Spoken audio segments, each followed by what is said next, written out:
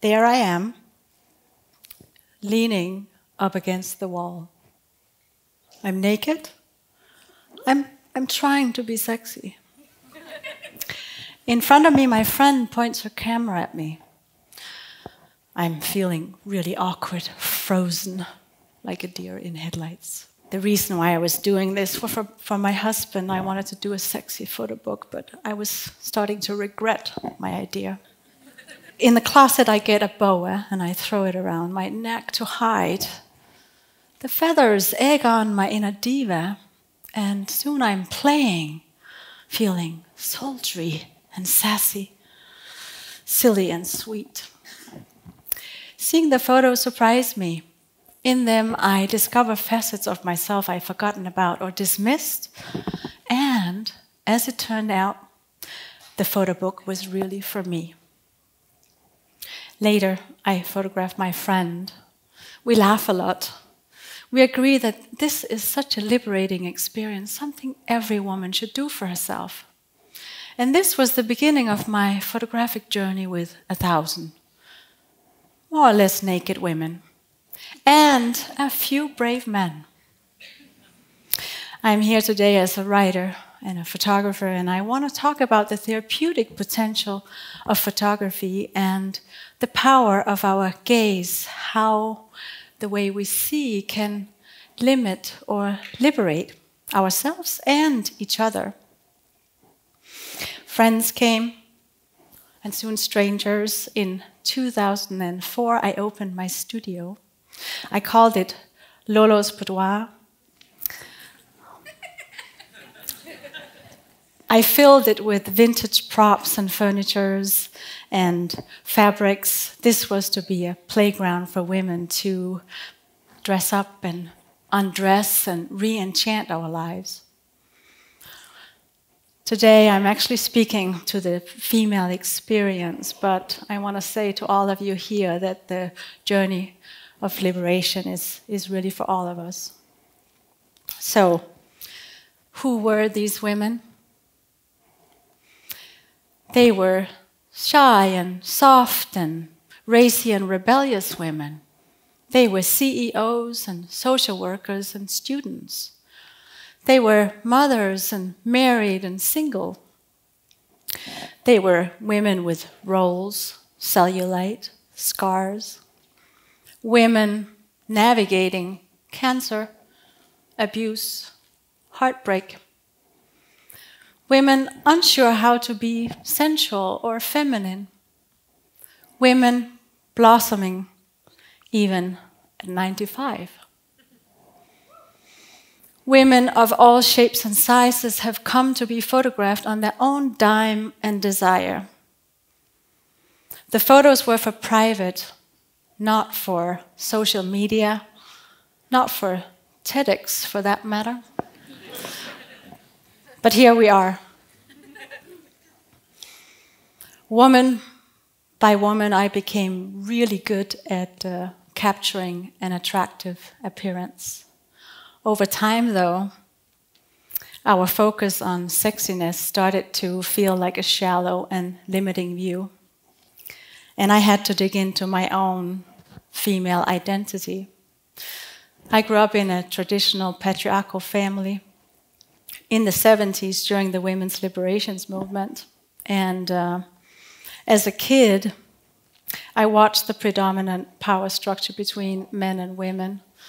And uh, I must have decided that I was going to be free. Except my idea of liberation was tied to equality. I wanted to prove myself equal to the boys, to the men, not through my looks, through my intellect, my skills, my sexual freedom. I was really proud of my independence.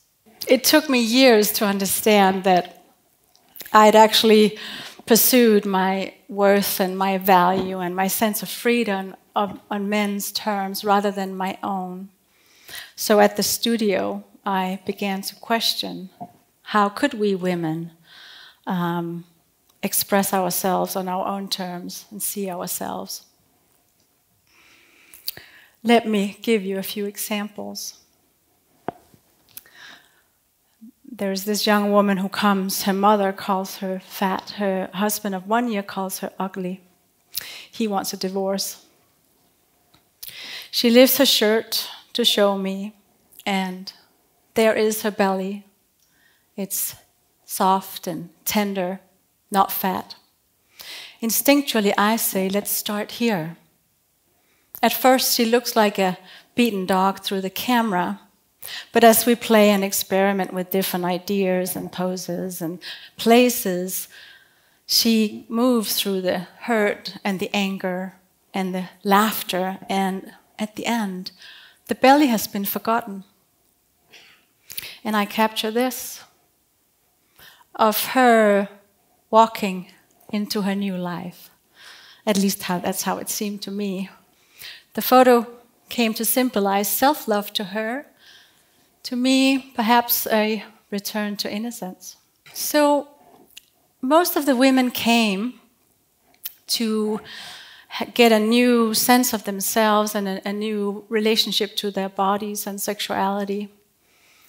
I found that by directing less and allowing for more space, even for awkward moments where we had no idea what to do next, uh, the women would start to come to their own revelations and expressions. I also found that by addressing the wound straight on, like the woman with the belly and her low self esteem, that the energy and the feeling could shift, and therefore also her the story she tells herself about it. Another example a woman comes, she's around 50, she's going through a life transition. She says, My, um, my life has become a prison.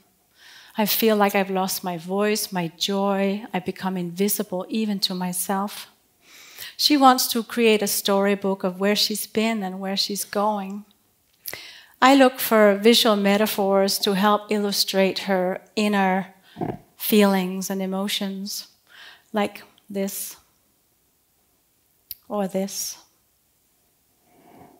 The photos become evidence of her transformation. By creating lots of different photographs, she gets to see many sides of herself.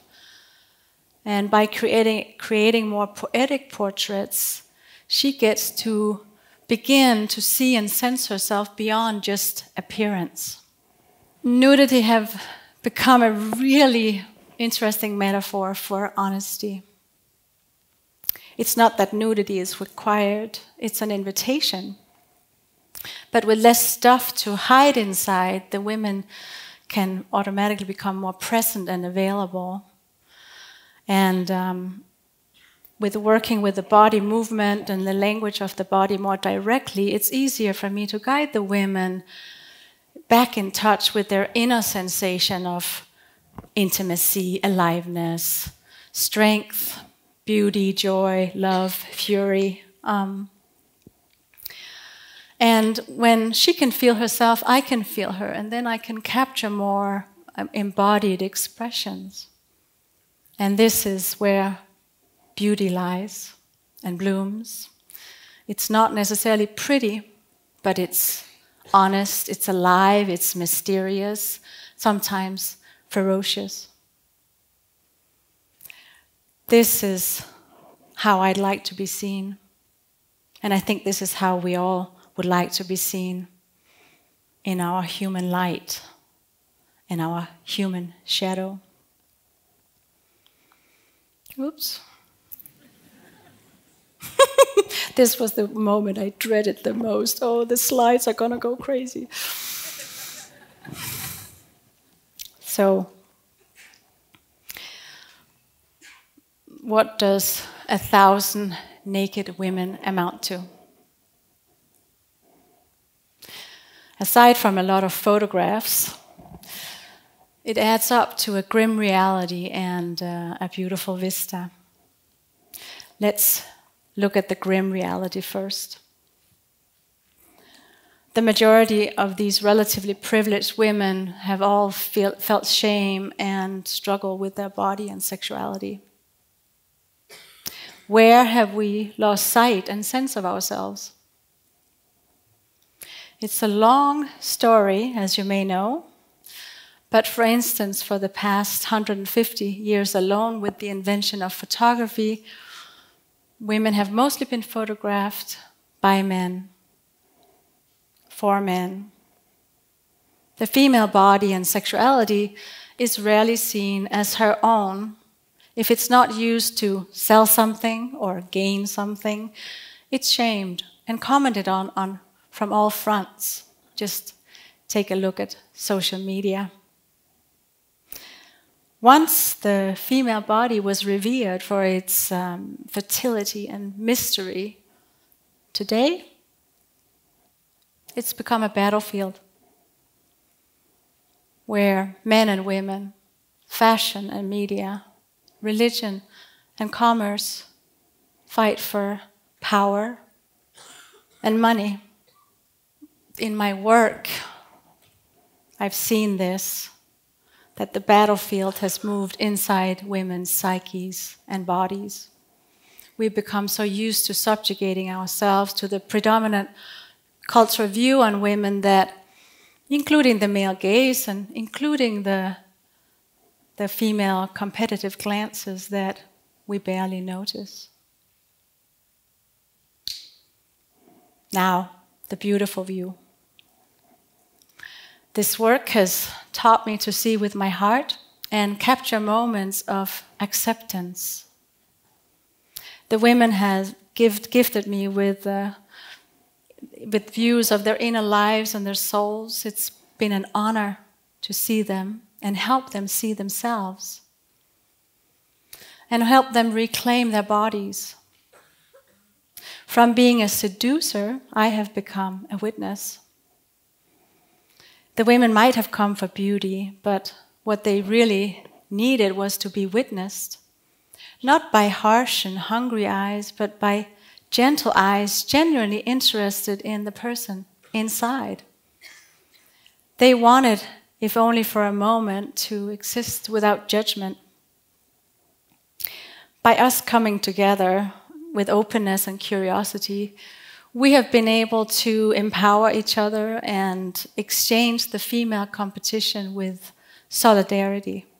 When we come together like this, it's not momentarily losing your inhibition that leads to your self love or acceptance or a sense of wholeness. It's when you find the courage and the freedom to reveal yourself to another. And this is how intimate photography encounters can offer healing, transformation, and celebration. Dear friends, with and without the camera, I do believe there is an art to seeing and being seen. Because our gaze is never without power, it's never neutral. It's informed by our experiences and conditioning, our biases and our beliefs, our preferences and agendas, and also how we feel and about and see ourselves. In many ways, we're blind. We don't see each other fully and freely. But what happens when we surrender this need? What happens when we stop judging? We become present, available for the discovery. Look around you. Yeah, you can look around you. I know you can't see, but um, does your gaze limit or liberate?